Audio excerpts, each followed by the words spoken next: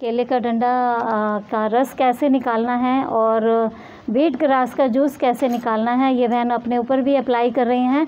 तो मैं चाहती हूँ कि ये बहन अपने आप आपको इसकी रेसिपी बताएँ।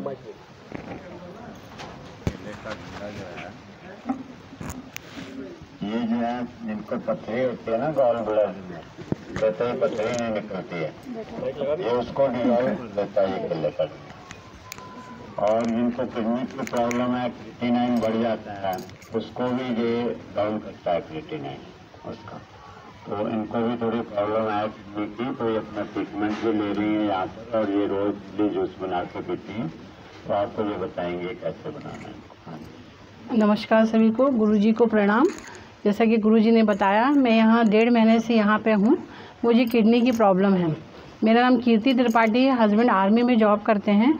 और मुझे ना डॉक्टरों ने यहाँ बोल दिया था डायलिसिस के लिए बोल दिया था कि आप डायलिसिस कराओ या तो किडनी ट्रांसप्लांट कराओ। लेकिन एक मेरे रिलेटिव थे, उन्होंने मुझे यहाँ का एड्रेस दिया और हम आए। तो गुरुजी ने यहाँ हमारा ट्रीटमेंट स्टार्ट किया। मतलब हम लोगों को जो जो उन्होंने बोला वो किया। लेकिन उन्होंने ये केले का डंडे का बताया था, ये जो अपन को मार्केट में अवेलेबल रहता है, ये ऐसे बड़ा सा रहता है, मगर हमको ये बीज का इसका ये ये ऐसे निकाल के इसको जूस में पीते हैं हम इसको। और इसको इसको हम ना नारियल पानी में ऐड करके ले सकते हैं पेठे के जूस में ले सकते हैं। और इससे ना हमारी पाचन क्रिया जो कि हमको एसिडिटी बहुत बनती थी उस समय ये प्रॉब्लम होती थी कि कुछ भी खाओ ज़रा सा एसिड बन जाता था। इससे एसिडिटी नहीं बनती। और पाचन क्रिया के लिए अच्छा प्लस ये वज़न कम करता है। मेरा उस समय मैं यहाँ आई थी 82 वेट था अभी 74 है और अभी और आ, मेरा 65 का गेन करने का इरादा है।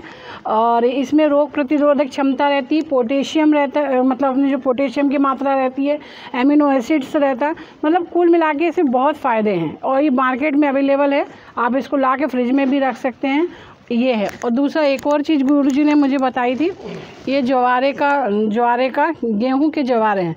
ये दिखाने के लिए मैंने थोड़ा सा रखा था। इसको आप घर में बो सकते हैं। जैसे घर में ज़मीन नहीं है तो आठ गमले ले लीजिए। एक मतलब दो दो दिन के गैप में इसको बो दीजिए। तो आपके नौ दिन में तैयार हो जाते हैं। इसमें बोलते ये देखिए मैंने इसको मिक्सी में मतलब चटनी की तरह बना लिया है और इसको सुबह शाम आप रोटी भी नहीं खाएँगे ना, अगर ये बस खाएँगे ना तो जैसे संजीवनी बूटी का काम करेगा ये। ये संजीवनी बूटी है हमारे लिए। और इसमें साढ़े तीन सौ बीमारियों का इलाज है इसमें। इसमें ए बी सी के मतलब सारे विटामिन हैं। हम लोग बोलते हैं कि हम विटामिन नहीं ले। तो हम इससे ही अपने शरीर को स्वस्थ कर सकते हैं और सारी बीमारियाँ इससे ठीक हो सकती हैं। इसलिए आप लोग इसको लीजिए। थैंक यू धन्यवाद। गेहूँ का जवारा। गेहूँ का जवारा है। Thank you ji.